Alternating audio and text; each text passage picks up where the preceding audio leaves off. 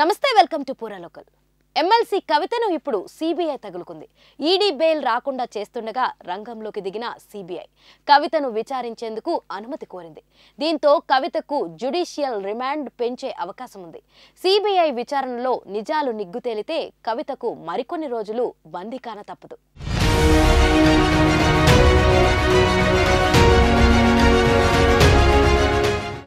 Liquor స్కామ్లో arrest అయి తీహార్ జైల్లో ఉన్న బీఆర్ఎస్ ఎమ్మెల్సీ కవితను విచారించేందుకు రౌస్ అవెన్యూ కోర్ట్ సీబీఐకి అనుమతించింది. జైల్లోనే మహిళా కానిస్టేబుల్ సమక్షంలో ఆమెను విచారించాలని తెలిపింది. ఈ మేరకు special judge justice Kaveri Baweja కొన్ని కీలక ఆదేశాలు జారీ చేశారు. కాగా ఢిల్లీ లిక్కర్ స్కామ్ కేసులో కవిత కింగ్ పిన్ అని ఆమెను విచారిస్తే మరిన్ని కీలక విషయాలు వెలుగులోకి వచ్చే అవకాశం ఉందంటూ సిబిఐ అధికారులు రౌస్ అవెన్యూ కోర్టులో పిటిషన్ దాఖలు చేశారు. తమ కస్టడీకి అనుమతివ్వాలని కోరారు. ఇప్పటికే ఈ కేసులో ఏడాది కింద కవితను విచారించామని మరికొంత సమాచారం కోసం ఆమెకు నోటీసులు ఇచ్చామని పిటిషన్లో పేర్కొన్నారు.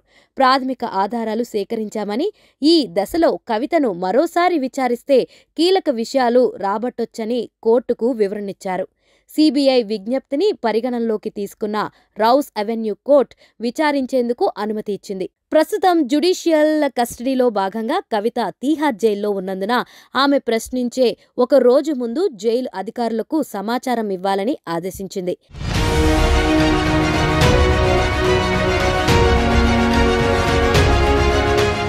ఎంక్వైరీ చేసే టైంలో మహిళా కానిస్టేబుల్లు ఉండాలని షరతు విధించింది. ఆమె స్టేట్మెంట్ను రికార్డ్ చేయాలని సూచించింది. కోర్టు అనుమతి రావడంతో వచ్చే వారమే సిబిఐ అధికారులు కవితను ప్రశ్నించే అవకాశం ఉంది రెండు వేల ఇరవై రెండు జూలైలో ఢిల్లీ లిక్కర్ స్కామ్ తెరపైకి వచ్చింది.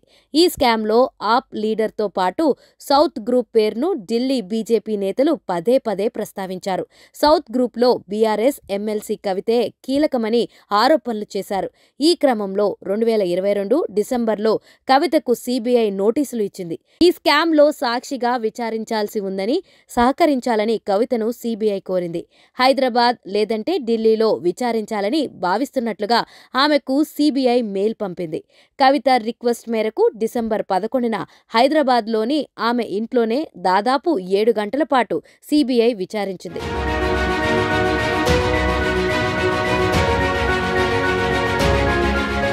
తర్వాత సిఆర్పిసి తొంభై ఒకటి కింద ఈ కేసుకు సంబంధించి ఏమైనా ఆధారాలుంటే సమర్పించాలని కోరింది.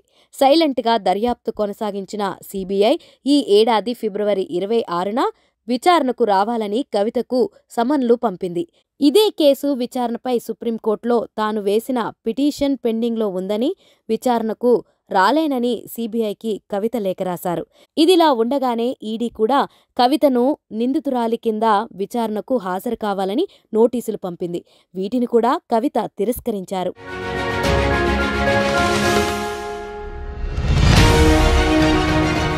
మార్చ్ పదిహేనున కవిత దాఖలు చేసిన పిటిషన్ సుప్రీంకోర్టు ముందు విచారణకు వచ్చిన రోజు మధ్యాహ్నమే హైదరాబాద్లోని ఆమె నివాసంలో ఈడీ సోదాలు చేసింది.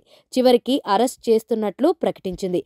పదహారున ఢిల్లీలో రౌస్ అవెన్యూ కోర్టులో ఆమెను హాజరుపరచగా ధర్మాసనం రెండు దశల్లో మొత్తం పది రోజులు కస్టడీ విధించింది. తర్వాత ఈడీ విజ్ఞప్తి మేరకు మార్చ్ ఇరవై ఆరున న్యాయస్థానం ఈ నెల తొమ్మిది వరకు జ్యుడిషియల్ రిమాండ్ విధిస్తూ ఉత్తర్వులు జారీ చేసింది. ప్రస్తుతం ఆమె తీహార్ జైల్లో ఉన్నారు.